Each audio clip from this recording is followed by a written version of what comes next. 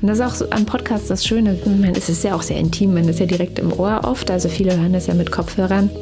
Ich glaube, da hat man tatsächlich nochmal eine Möglichkeit, so eine Gemeinschaft zu schaffen und gemeinsam Dinge zu denken und zu fragen und zu entwickeln. Das ist sehr, sehr schön.